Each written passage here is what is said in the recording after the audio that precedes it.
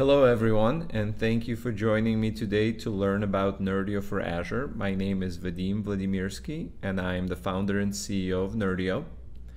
I know how much everyone loves slides, uh, so we're not going to spend too much time on the slides. Uh, we'll go through some of the background on, on what Nerdio for Azure is all about, uh, and then we'll spend the rest of our time together looking at the product uh, and, and doing a hands-on technical demo.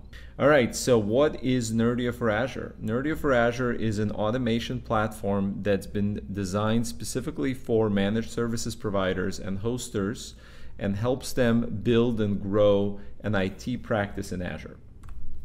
A bit of a background on the company. We started out as an MSP about 13 years ago and we created what back then was a fairly unique offering, which was a complete IT in the cloud practice where all of our customers were, were running their entire IT system, including servers and desktops in the cloud. We've onboarded literally hundreds of customers around the world. We were an early SPLA partner of Microsoft. And as the years went on, we've created a lot of technology to make ourselves as a service provider more efficient and cost effective. And then a few years ago, we decided hey, why don't we take all of this technology we created internally, put it together into a platform, and make it available to other service providers to be able to build a similar practice of putting entire IT systems in the cloud.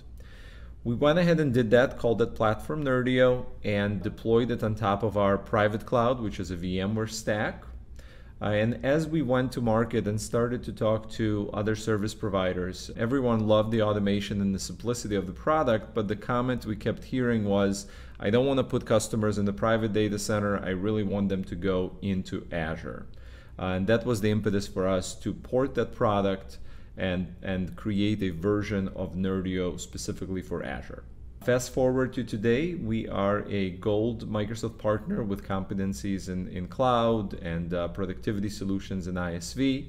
We are also uh, listed in the Microsoft One Commercial Partner Catalog. We are an IP co-sell ready solution and, and available through the Azure Marketplace and AppSource.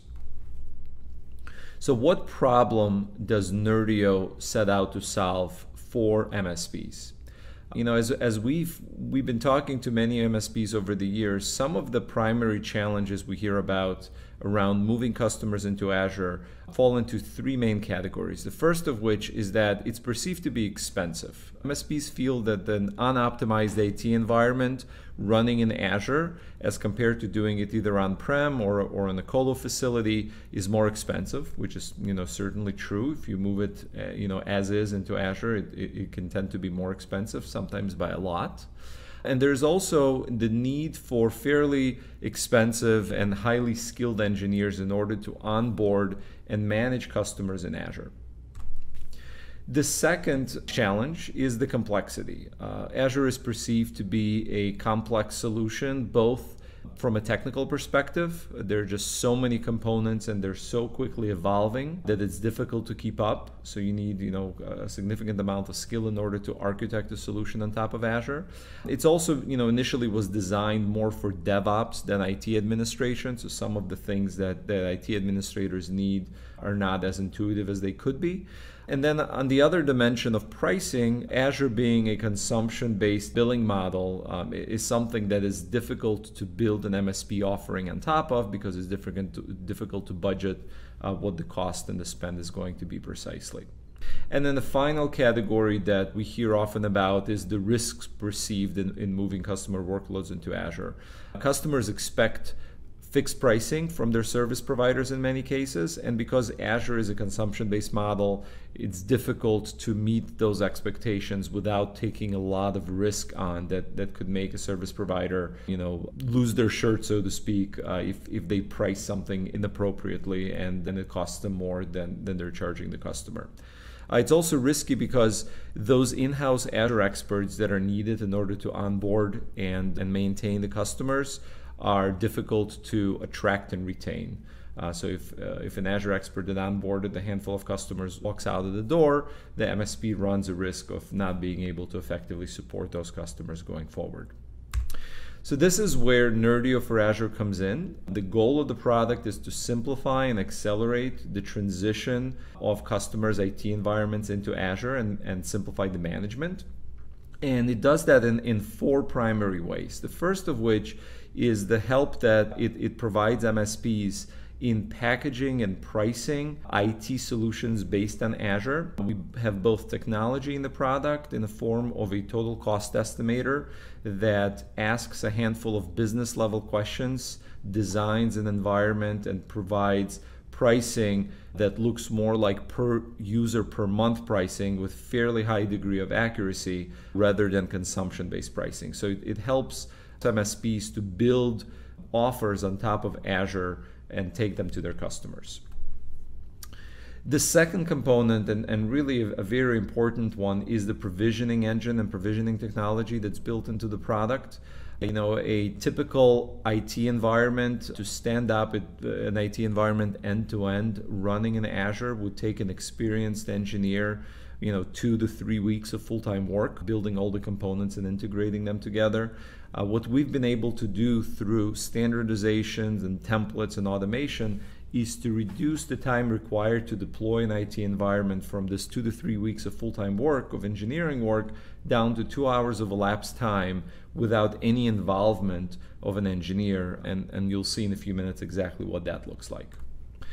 The third component is the single pane of glass management portal that allows our partners to manage their customers' IT environments all from one place in a multi-tenanted management platform across all of the IT functionality that an end customer would utilize. Everything from users and groups and servers and networking, VPNs, backup DR, you know, really all aspects of the IT environment can be managed from a single place across all customers.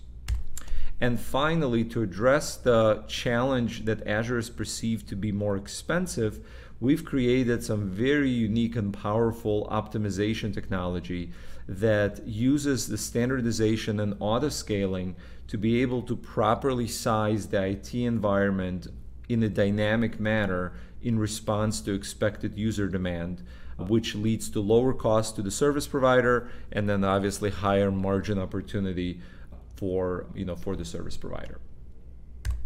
You know so now we kind of have the idea of what nerdio for azure is. The obvious question is well when can it be used or how, how is it used for customers? And what i like to do is to talk about these four common use cases that we see of the nerdio for azure product. You know they're slightly different and we'll go through some of these examples hands-on in, in just a few minutes uh, the first one we call IT as a service. It is typically used by small and mid-sized business customers. And, and the concept here is you take the entire IT infrastructure from on-prem and migrate it into Azure and Office 365 completely eliminate the need for any local IT infrastructure. And the migration methodology is typically a lift and shift, and, and that's uh, usually a kind of a cutover migration that's done. For the enterprise, a very common use case is the ability to take an existing RDS deployment that's generally you know difficult and expensive to maintain on-prem, be able to extend it into Azure and then move workloads and users into that Azure environment, allowing those workloads to be placed closer to the users given Azure's global footprint.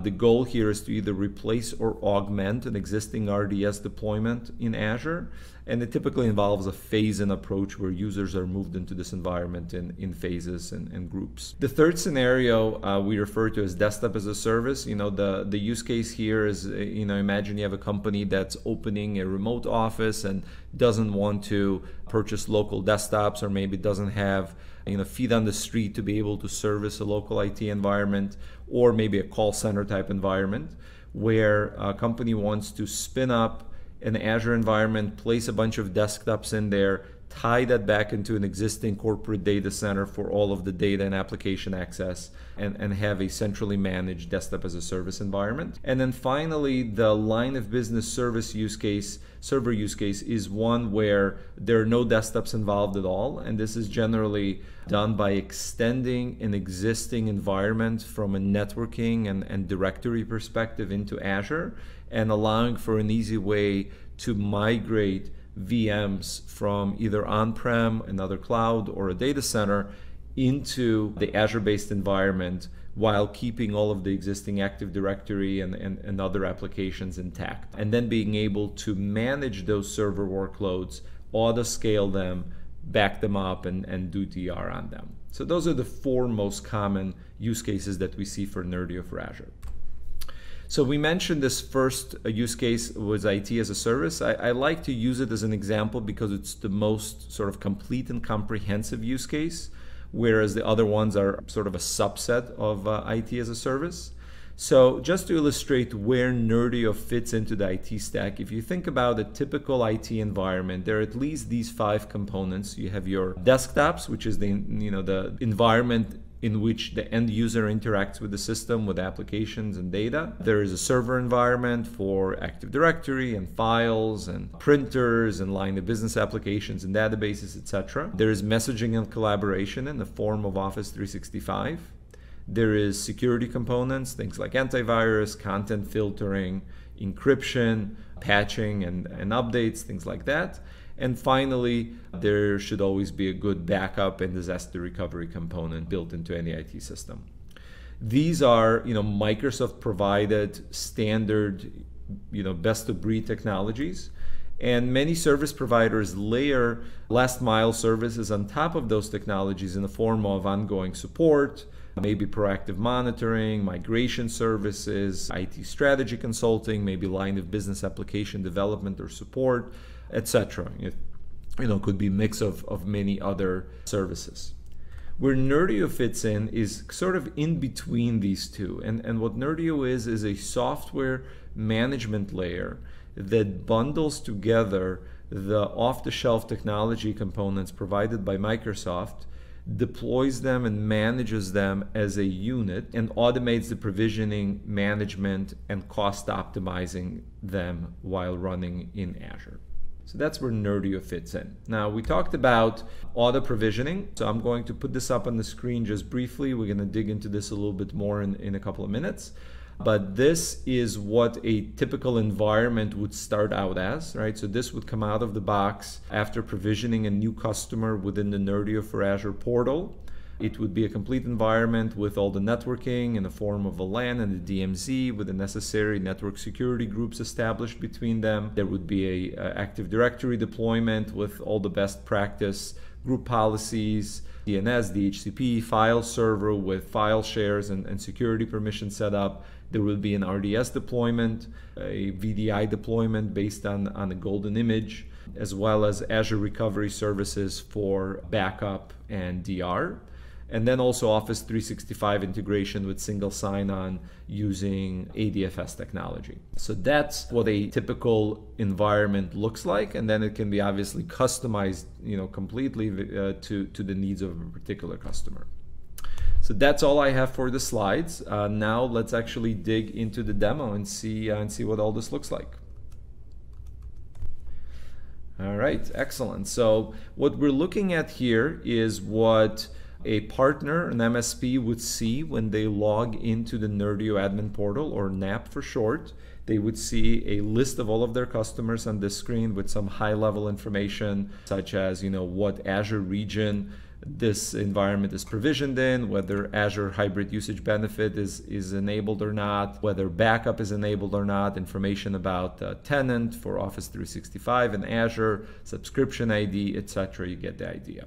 Uh, it also maintains some health information and being able to access all the resources that Nerdio is controlling. And then you can dig into each one of these accounts and actually manage them as an IT administrator would, uh, and also have the ability to delegate administration down to the end customer if, uh, if needed. So first thing we will do is take a look at what it looks like to create a new customer in this environment. So we're going to click on Add NFA Account. And there are three things you have to do here. Step number one is you have to connect it to an existing Azure subscription.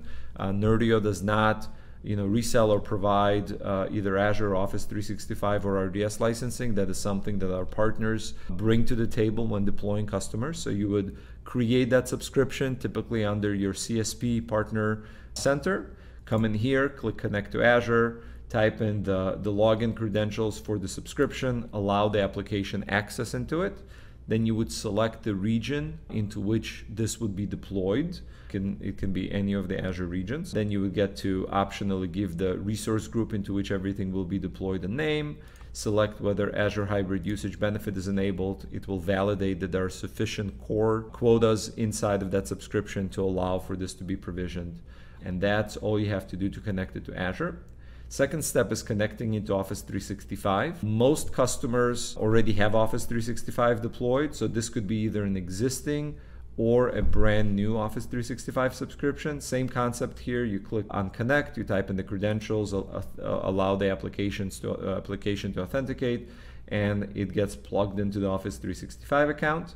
And finally, step number three is giving this company a name just to identify it in the list and clicking Save. Once you click Save, this account goes into provisioning. It will appear on the screen with the status of provisioning and about two hours later, that environment that we looked at that looks like this is going to be ready to go where you can start adding users, installing applications, moving data, and your environment can, can be used, you know, literally within hours running out of an Azure region. So let's take a look at what a previously provisioned account looks like. Obviously a demo account here called Moreheart Inc account ID 5009. We are going to click on the login button. And what you see here is that the context of our administration has changed. Instead of looking at the partner view or the reseller view where you see multiple customers, here you see the IT admin view. You can see that we're now part of Moreheart Inc., count ID 5009. And along the side here are all the typical IT management functionality. Uh, we, we certainly will not have time to look at everything or, or even a significant portion of it, but I'll, I'll show you some highlights uh, to get the idea across of, of how automated and powerful this tool is. So the first place I want to start is maybe with server management. So you know, imagine you have a handful of servers that have been migrated or have been provisioned inside of the environment. If we go into the server module, you will see that uh, you know the servers are listed here and you can very quickly and easily make modifications to the configuration. So for instance, if we have this domain controller, it's currently a a B2S instance, we want to resize it, we can click here, select the appropriate instance based on what's available in the region. It gives you some guidance as to what the appropriate you know, choice may be in a particular use case. Click confirm, and this will automatically resize the VM. Similar thing can be done with disks. For example, if there's a file server here that has a P10, which is 128 gigabyte SSD that's running out of space, you can simply click on this disk, select the size larger, you know, something like a P15, P20 or so. Leaving this checkbox checked and clicking OK will not only grow the virtual disk in Azure, but it's also going to grow the, the volume inside of the Windows operating system so you don't even have to log into the VM to extend the partition. You can also change from SSD to a hard disk.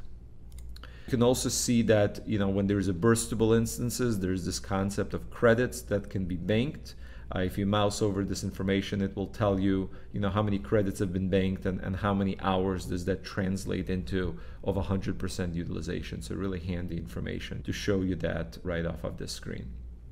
If you wanted to add a new server, really simple and easy. You click add server, give it a name, select an operating system. You know, these are the five most common ones we see. Select the disk type, either premium SSD or standard spinning media. Select the right instance size based on, on what's available. For example, the G series doesn't happen happens to not be in this region can select any other instance, uh, assuming there's sufficient core quota in the subscription. Click OK. This will provision the VM, place it on the proper network, and even join it to the domain. So within a few minutes, you can just click generate RDP file, log into the server, and uh, be able to install applications. Some other really neat things is auto scaling on a server by server basis. This is one of three auto scaling mechanisms we have built into the product. So let's imagine you have an application server that requires to be available during business hours. And uh, maybe it doesn't need to be available during off hours or maybe it needs to be available but it doesn't need to be sized with as many cores or, or as many gigs of ram as it does during business hours. So all you do is you come in here go into auto scale you can then define the work hours. So let's say you know monday through friday uh, let's say 9 a.m to 5 p.m Central Standard Time, and then you get to select well what happens with the server outside of those hours. You can you can either select it as as you know no change, don't do anything with the server. You can have it be powered off. So at at five you know 5:01 the server will shut down, and then just before 9 a.m. it will be powered back on. Or what's really cool is you can resize the server to any other instance size. For example, you know, if it's already an A series, you can resize it to, you know, a four core or a smaller VM. Um, and you know, obviously during off hours, you want it to be smaller. In this case, it's only single core, so can't really go any smaller than that. But you can select the off hour size and preset the, the during business hour size, and it will automatically do that for you on the schedule that you select. So really, really handy functionality here. Other things you can do from the server management, obviously do things like stop, start, and restart the server, add additional storage to a server so I can easily add a disk of any size and allow it to automatically partition it in Windows. You can manage networking and IP addresses right from here. You can change what LAN or DMZ subnet it resides on and change the IP address and all the kinds of server management functionality that, that you would anticipate. So that's a bit of server functionality. Now let's take a look at what user management looks like. So I'm going to go into users and I'm going to be presented with a with what looks like a regular user list. But if you look closely, this is really a list that brings information from multiple different systems together in one place. So for instance, you can see what the Office 365 licensing that's assigned to a user happens to be. You can see their Exchange Online email address. You can see their Active Directory uh, username group membership. You can quickly see what type of desktop they have, or they may not have any desktops or virtual desktops assigned to them. So in this case, this is an RDS user assigned to this particular collection, which consists of session hosts that have two cores and four gigs of RAM and are burstable. You can see the last time the user logged into the system and you can quickly enable and disable that login. And there's a whole set of actions that you can perform on a user and their desktop everything very handy right at the fingertips right here. So let's go through a scenario of what it looks like to add a new employee. Imagine you have a new employee starting with the company. So in the normal environment, you would have to add them to Active Directory, sync that over to Office 365, assign a license, configure the email aliases, give them a desktop, install Office, configure backup, activate Office, set up Outlook. The list goes on and on and on. Let's see what this looks like in the Nerdio environment. So we're going to click on Add User. We are going to type in the first name and last name, email address. We are going to add additional email aliases that can be added right here. So we're just going to click on Add John in there. If we type in a phone number in this screen, it is actually going to enable two-factor authentication on the desktop login. So when the user logs into the desktop, they'll get a text message at this phone number, which they'll need to type in to proceed. The next section is the Office 365 section. It automatically will know what licenses are available in this customer's Office 365 account. And if you mouse over a particular license, it will tell you how many are purchased and how many are assigned. And in this case, we have one available E3 license, so we're going to go ahead and do that. And then in here, you have the ability to delegate access down to the end customer's user. So for instance, you can say allow user to log into NAP and select their level of access. There are two options available. One is an account IT administrator, which means somebody will have access to everything that you see in this screen, so the entire portal with all of these options. The other option is the account tier one support, which will give them access to users, groups, shared mailboxes, but nothing servers or below. Uh, you know, meaning this this would be someone managing users and passwords and groups, etc., but shouldn't be managing servers and networking and, and backup and, and things like that. So if, if you wanted, you could also grant this user domain admin rights. You know, highly not recommended as a regular practice, but occasionally that is necessary. So that's something that you can do from this screen easily right here with just a checkbox. The next section is the desktop. You can select to give the user no desktop at all, or you can give them an RDS desktop, meaning they will be sharing either a session host or a collection of session hosts with other users or you can give them a VDI desktop, which is a dedicated VM instance running in Azure, and you can select it uh, uh, to be any size, anything from a single core all the way up to you know 64 cores. What you'll notice here is that there's some recommendation at the top, including GPU compatible instances for highly graphical workloads. And you'll also notice that some of these are grayed out and can't be selected. If I mouse over it, will tell me why. For example, this one says 32 cores are needed, but only 20 are available in the subscription. And you'll see this throughout Nerdio. There's lots of what we call guardrails built in to kind of impose some of the Azure best practices around managing an environment. So, you know, you, you can select an instance that's bigger than the number of cores you have, only to have Azure error out when you try to make the change. So, just kind of trying to protect the administrator from making a mistake. So let's say in this case, John is going to be a light uh, user. So we're going to assign him to a particular RDS session host or an RDS collection. Let's say this is the collection for, for the accounting department. And if John is joining the accounting department, we may already have a predefined accounting user template, or we may have a user in the accounting department who has similar level of access. So we're going to start typing accounting. We can see we have Angie accounting, click on that. We can see this automatically pre-populated all the security group membership. We can add John to additional groups, remove them from some of these other groups. Then we can look at some of these extended attributes, usually hidden by default, but things like the login script, the X500 email address, can hide the user from the from the GAL, etc. So lots of additional information that, that you can edit here when you're adding a user. And then the final step, you can optionally send an email to the user's personal email address, which will look something like this. And this email can be, or, or all aspects of Nerdio can be white labeled. So the logo and the names and the contact information at the bottom can be uh, very easily replaced with our white label functionality. But the user will get a welcome email that's going to have their desktop and server information as well as their username and password. But it will also have an attached RDP file if they do have a virtual desktop assigned to them. So all they have to do is double click on that file. It's SSL signed, so there will be no unknown publisher uh, warnings or anything like that. Type in the password that, that they will be provided, and they will be in the desktop within two or three minutes of me clicking the save button and the user being added.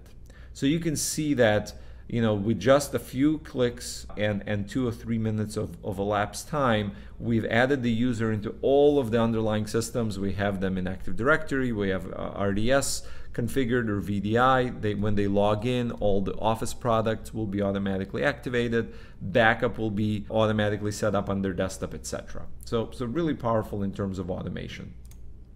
Now, if you want to see what the end user experience looks like, let's let's take a look at that. Let's take this user Sally Sales as an example. And if we want to log in as Sally, we can we can either do so with an RDP file or we can log in with HTML through a web browser. So I'm going to show you what it looks like to log in with an RDP file. So you simply click on generate RDP file. Here you get a, a, choice to configure what settings are available to, to the user. So for instance, do you want to redirect local printers? Do you want to redirect local drives or not? You can then choose to either publish the entire desktop or just a remote app that may be installed on the desktop or on the collection. If you click here, it will enumerate all the apps and give you the option to select one. And then you get a choice of either downloading the file right here and now or emailing it to the user or yourself or whoever, or even multiple people if you wanted to. So for this example, we're just going to download the file, click confirm, see file get downloaded on the bottom. We're going to go in here. And you can see I got no unknown publisher warnings. Everything is pre-configured. The file has the user's desktop information and remote desktop gateway built in. It has their username built in. And assuming I remember the password, we should be able to be in the desktop in a matter of just a few seconds. So this user doesn't have a phone number specified, so the two-factor did not uh, take effect. And now we are logged into our virtual desktop. You can see at the top, logged in as Sally Sales.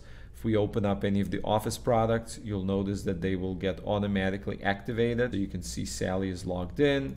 If we look at you know all of the various settings because of single sign-on. OneDrive is automatically configured, SharePoint is automatically configured, and all of that happened without any user intervention. And obviously, this is just a regular desktop that could be sized and you know in any way that's appropriate for a particular customer. So let's go ahead and log off and come back to the screen. Okay, so this is what it looks like from an end user perspective. From an IT administrator perspective, there's lots of powerful functionality here. For instance, if you have an, an employee that leaves the organization, let's say Sally Sales gives her notice and is going to be leaving. So normally you would have to determine who gets Sally's files, who gets the old email, who gets the new email, what happens to the desktop, what happens to the documents content, etc. Here's what it looks like in Nerdio. You come down here under Sally Sales, select Archive User, type in the name of Sally's manager, let's call him Andy in this case, check this box and click confirm. What this will do automatically is it will go into Office 365 and convert Sally's mailbox to a shared mailbox to free up an Office 365 license. It will then assign that mailbox to Andy, her manager, and it will automatically pop up in Andy's Outlook uh, without any intervention. It will then take the contents of Sally's desktop and documents from her desktop and move them into a folder on the server and drop a shortcut to those files on Andy's desktop. It will assign Andy as the manager of Sally's uh, OneDrive files in SharePoint and all of that will happen again in a couple of minutes after clicking confirm with an email going out to Andy telling him that he's been assigned all of Sally's data. Sally's account will get disabled, the desktop will get shut, uh, shut down, and the process will be complete. Again, in contrast in having to do that manually, which is error prone and time consuming. Some of the other things you can do here is you can obviously reset passwords. You can reset a particular user's RDS session. This comes in really handy, if, especially if you have a large RDS collection, you know, and you don't know exactly which host the user happens to be on, or you don't want to log into the Windows environment to look at RDS directly. You don't have to go into Windows. You can simply come in here, select Reset RDS Session. This will automatically find the user session wherever it may be running and will terminate it so the user can log in uh, if something got hung up. Another useful feature is this revert profile feature. This will allow you to recover the Windows profile from a shadow copy snapshot available on the user's desktop. This will provide a list of all the available shadow copies. You select uh, select one and click confirm, and that will recover that snap that profile back up the current one so it's still available if needed, reboot the machine if necessary, if it's a VDI machine, for instance, and allow the user to log in using an older version uh, of, a, of a profile from a backup so you don't have to, to blow away and recreate user profiles if there's some corruption. You can also forward the user's email from right here to a manager or to a distribution list. You can do things like monitor someone's email, which, which will assign, you know, read and full access permission to their mailbox for another user. Lots of additional functionality. You know, you can uh, monitor the performance of a particular user. You can replace a user. If somebody is coming in and taking their place, you can just specify first name, last name, email address, and mobile phone number. And this will automatically transfer all of the data and all of the settings from the existing user to this new user. So really powerful automation. Similar things under groups and shared mailboxes. You can manage those very easily. You can uh, you know add a new group. You can specify whether that's a distribution list or a security group. If it's a distribution list, you can add email address and aliases. You can quickly add users into the group or actually add other groups into the group, etc. So there's just a lot of additional functionality. You can decide if you want to have that group be visible in the global address list or not. Similar thing under shared mailboxes. If you add a shared mailbox, you can select what email address it will have and who the members are. So you can add, you know, users with Exchange Online licenses, and then this shared mailbox will automatically appear in their Outlook.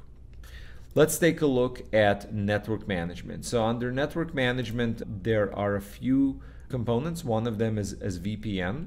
So Nerdio uh, admin portal automates the configuration and management of VPN connections, making it really simple. And as you probably have noticed, we you know we have this three-click management philosophy where everything you do within the portal uh, should be three clicks or less.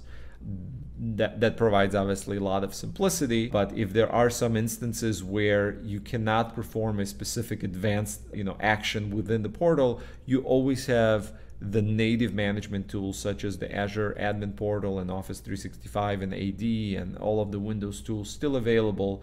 And Nerdio will pick up on those changes and integrate them in here, so you won't break anything by, you know, by making some of these changes in the uh, native portals.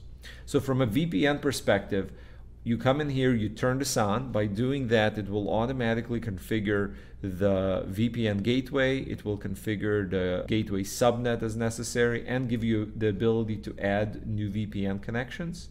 When you add a connection, again, really straightforward, give it a name, give it the, the peer IP address, and then the destination uh, network IP and subnet.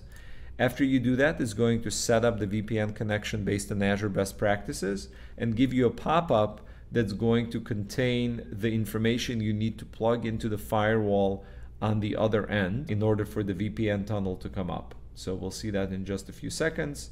We're going to click on uh, view settings right over here. And here you can see the information you need to type into the firewall on the other end. Once this is typed in, this connection will turn from connecting to connected and, and you have a VPN ready to go. So again, really easy setting up VPN connections.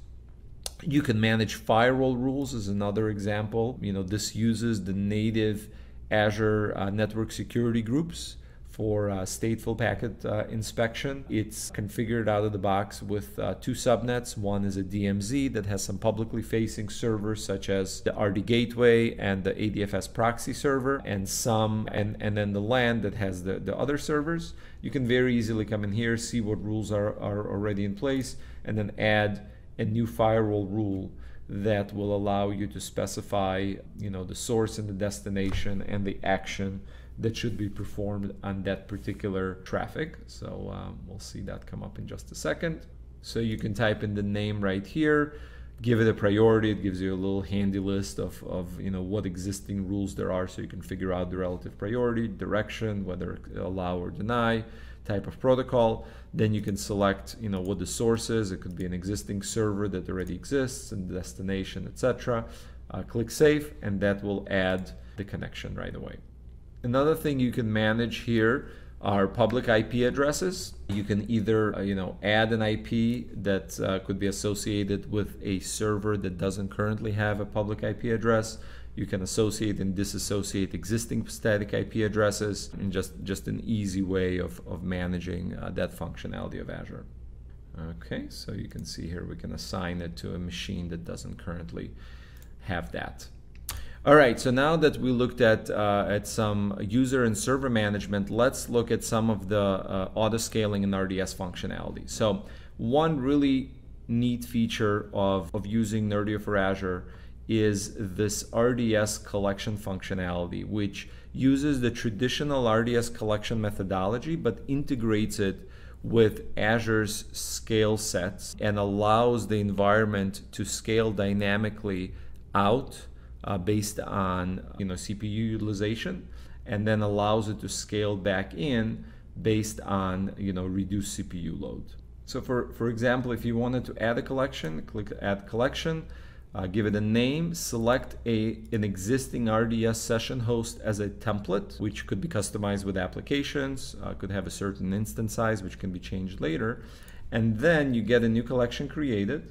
And if you look at the auto scale settings in that collection, there, there are three parameters here. You know, one is the boundaries. You know, what's the minimum number of hosts you want to have in that collection, and what is the maximum? It's always recommended to set some maximum to avoid some runaway application causing you know this to scale out to infinity and, and cost a lot of money definitely something that should be avoided then the next thing is scaling logic basically says add a host if CPU uh, usage across all existing hosts in the collection exceeds a certain percentage 70 in this case for 10 minutes and then remove a host once CPU utilization drops below 40 for 20 minutes or more, but only do that after business hours, which is either 6 p.m. or you can specify to do that at any time. And you can also have a, a, message that goes to the users who happen to be on the host that's being scaled in, letting them know that they can just log off and log back in right away to be placed on another host. Uh, we also have functionality that will randomly set a message to a percentage of the users when a new host is added to the collection so they can log off and log back on and, and be placed on a new host if, if performance uh, is something that, that's a problem for them. Uh, you could also resize the template so you can have the the compute template be any you know any VM size and it will automatically make that change across the collection and you can also change the size of the system partition and either make it an SSD or a spinning media as well. So that is RDS collections. If you wanted to, you can assign users to individual session hosts as well. And the way you would do that is by, you know, there's going to be an RDS session host to start with.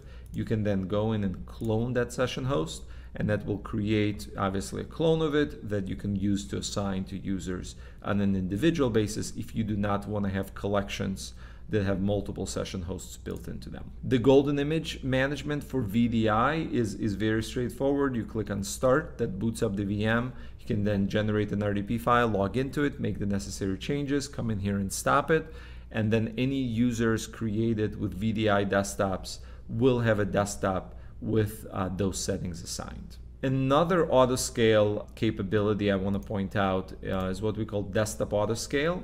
This uses the concept of work hour profiles, the three default profiles that come out of the box that can be modified. One is called workaholic for users that work 24 by 7. One is called productivity, which is 12 by 7. And then another one that's called work life balance, which by default is 5 or 9 by 5 uh, profile. And what you can do is you can come in here and you can specify, first of all, the, the hours, but also who, what users belong to which profile. And what this will do is it will automatically calculate an action plan for each and every desktop resource in the environment. Uh, and if it's a VDI desktop, it will shut it down outside of that user's work hours and then power it back on automatically uh, right before business hours. And if you want to give them the ability to power it on if they try to log in outside of their normal hours, you can do that.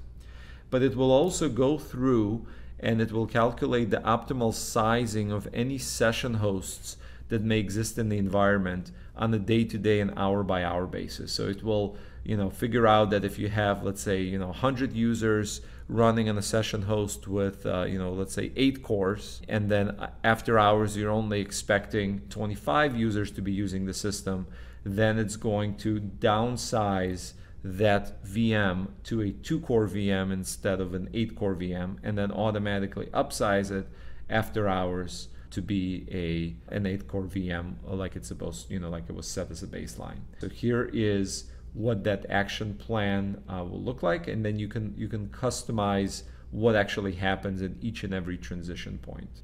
So you can see here, you know, on Monday we're expecting two users uh, during you know 7 to 6 but not outside of those hours etc and then you can click on, on these little transition points and decide whether you want the nap to automate the sizing or you can select your own sizing. You can tell it don't change anything power it off or resize it to some particular size. So this is really convenient because as users get added into the system if they get assigned to dedicated session hosts or dedicated virtual desktops this will automatically manage the availability of those resources and optimize um, the savings. So if you look at estimated savings as a result of having you know the four users in this collection, you can see that you know it will it will save about 50% of the compute uh, resources by having those four users in the work-life balance profile. Okay, there's uh, you know lots of additional functionality, lots of uh, onboarding tools to help with the onboarding process. The one thing that that commonly is asked is is how do you integrate this into an existing environment, and and that's something that's uh, that's usually you know a very important component of the onboarding process. So normally a, a, clean new environment gets deployed for a pilot so a customer can go in and test the environment and make sure the performance is acceptable and and maybe you know pilot some applications just to get a comfort level that that everything works as expected And then what happens is you have the ability to plug this into an existing Active Directory over a VPN connection. It will then extend that Active Directory into Azure by creating a domain controller within this deployment. And then the Nerdio admin portal will have visibility of the user and computer objects inside of the existing Active Directory. So when you add users or when you you know assign desktops to existing users, they will maintain their existing usernames, their existing email addresses, existing passwords, and you can manage them from the Nerdio admin portal, manage their desktops without having to recreate those user objects. The way that is done is through a process we call hybrid AD, really straightforward. You know, there are about uh, there are three steps to it. First thing is you add a domain trust by specifying an IP address of an existing domain controller across a VPN that, that you would configure right here.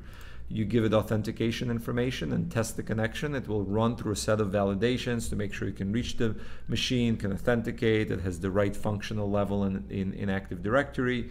It is able to reach a DNS server that is hosting that Active Directory DNS zone, etc.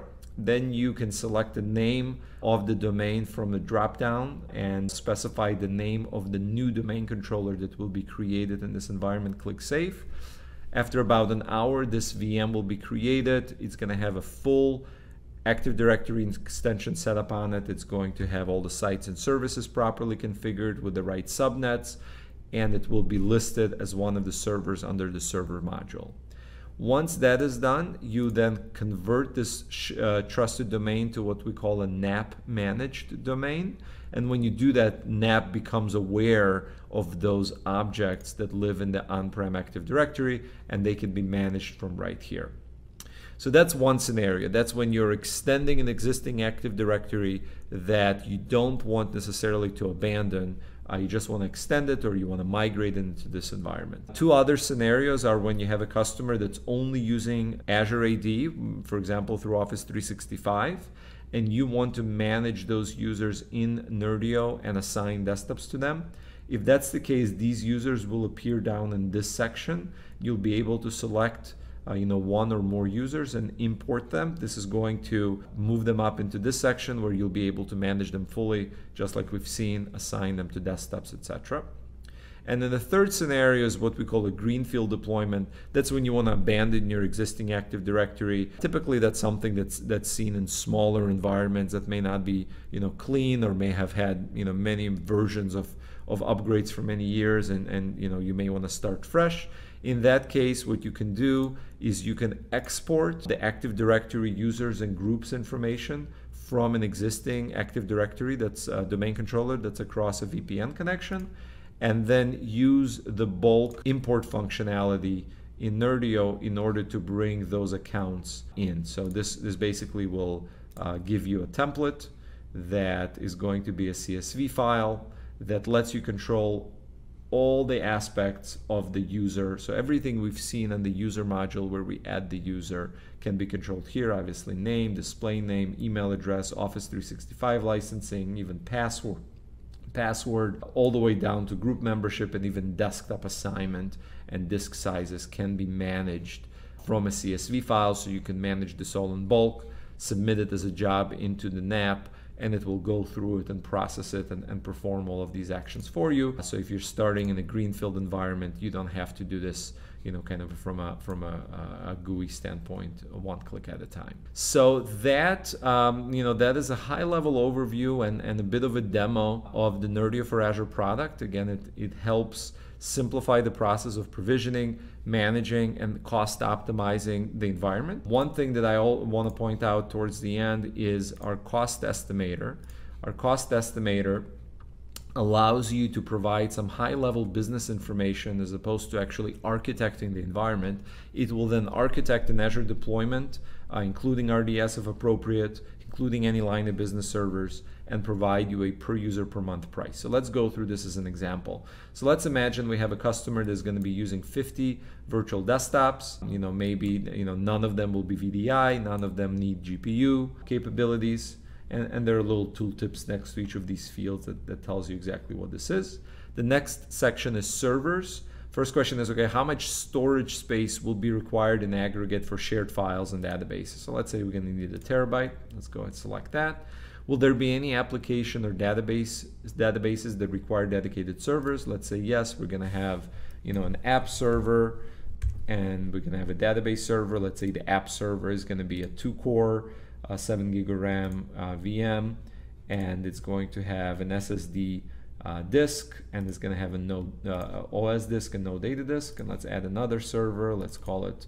This is going to be our uh, database server, and it's going to be a four-core, let's say four-core VM with SSD C drive and also a 256 gigabyte data drive. Okay, so that's uh, that's all we need to do for servers.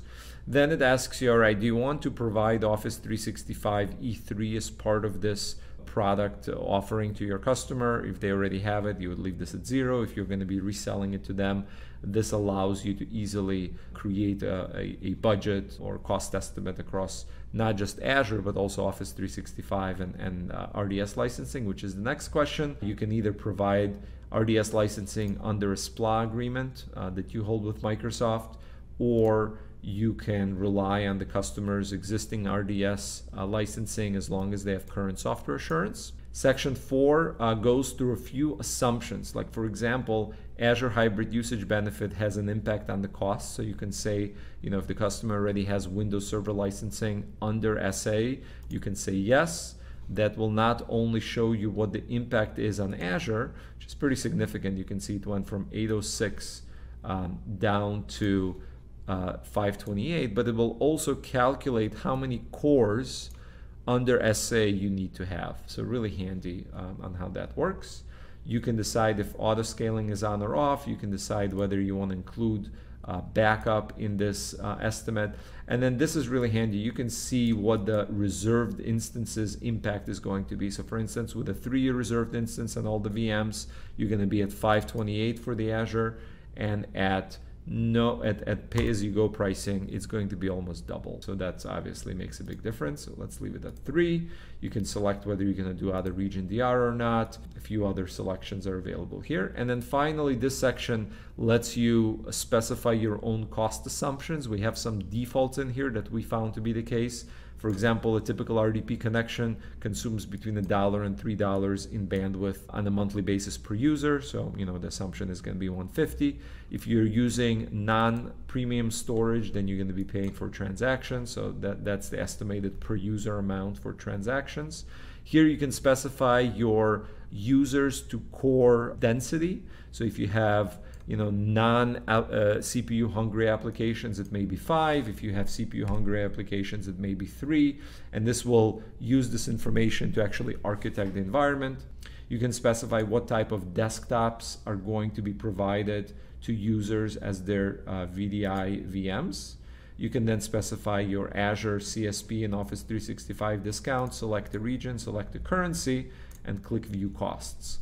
What's really nice here is that it summarizes this information for you, rolls it all up into a per user per month price, but at the same time breaks it down by component. It tells you what the Azure piece is, Office 365, RDS, how many server cores, what the Nerdio license is, the total cost, and then it even shows you what the architecture is going to look like. So there's going to be a domain controller sized like this with this kind of OS disk.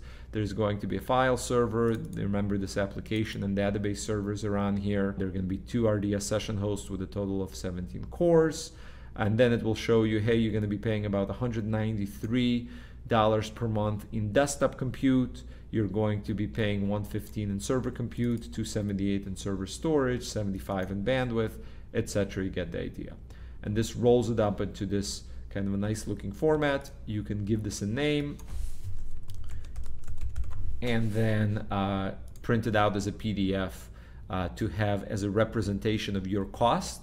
You can then take this cost number, add your margin in, for example, double it to add a 50% margin, and you know go to a customer with a quote of $50 per user for this particular environment. So again, really simplifies the costing process and, and makes it easier for you to build solutions on top of Azure.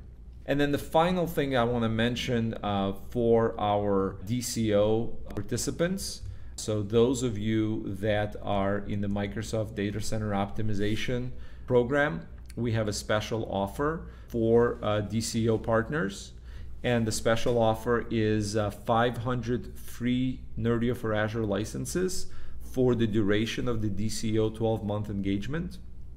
It is a $72,000 value if you look at it uh, from that perspective. And also an important thing to keep in mind is the, the pricing model for Nerdio is a desktop pricing model. So if there are no virtual desktops involved in the deployment, then all of the functionality you've seen is available to you for free forever. There's going to be no licensing cost and you'll be able to you know build servers and manage them and auto scale them and back things up and do all of that very inexpensively as a matter of fact free from a nerdio perspective. All right. I appreciate everyone's uh, taking the time today to learn more about nerdio for azure and have a great day